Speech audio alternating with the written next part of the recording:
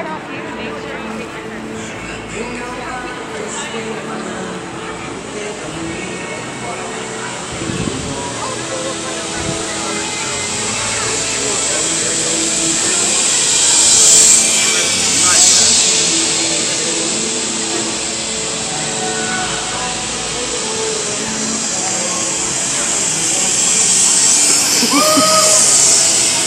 Ah!